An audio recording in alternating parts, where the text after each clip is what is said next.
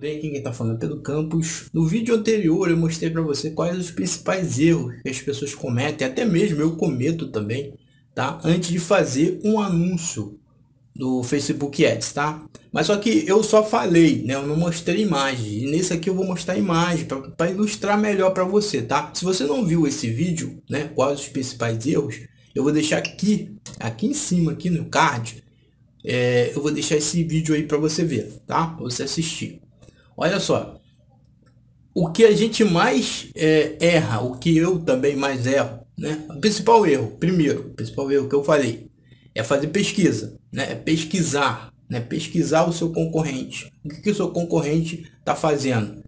Por que, que ele vende muito e você não consegue vender? Você tem que pesquisar qual é o vídeo que ele está colocando, qual é a foto que ele está colocando, tá? Porque tem fotos e vídeos que convertem muito mais, né? Então você tem que pesquisar, fazer essa pesquisa. E o outro que eu falei é o público, tá? O público é muito importante, tá? Depende do produto que você vai vai vai promover, né? Na verdade, na verdade é o seguinte, pessoas de idade, né, de é, 18 a 65 anos, 18 anos a pessoa ainda não está trabalhando, né? Não tá, a maioria não está trabalhando. Tem algumas pessoas que sim, mas outras não estão trabalhando. Essa idade de 18 a 65, 65 anos, as pessoas não sabem comprar pela internet. Elas não sabem comprar pela internet. Então eu já gastei, eu já gastei muito dinheiro, perdi muito dinheiro com é, pessoas dessa idade aí, né? Às vezes a pessoa vai lá ver, até é, gosta, né? Mas não sabe comprar né, da internet. Então, você tem que editar isso aqui, tá? Coloca, um, coloca pelo menos 21 anos, ó, 21 anos, e coloca a 49 anos, tá? 49 anos, ok? 49, não, 59 não, 49 anos, tá?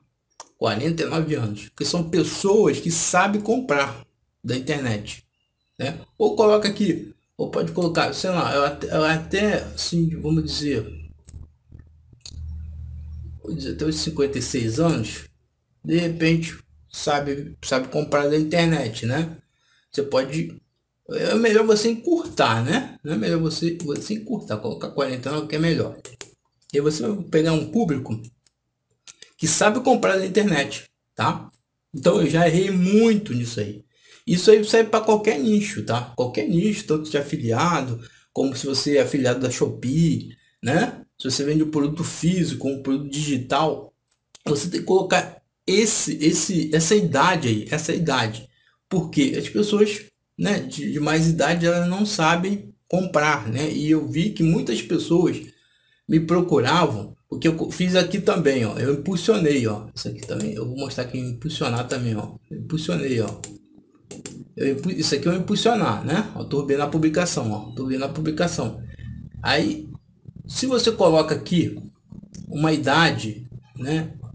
Uma idade, um público de uma idade ó, muito... Vou colocar aqui, peraí.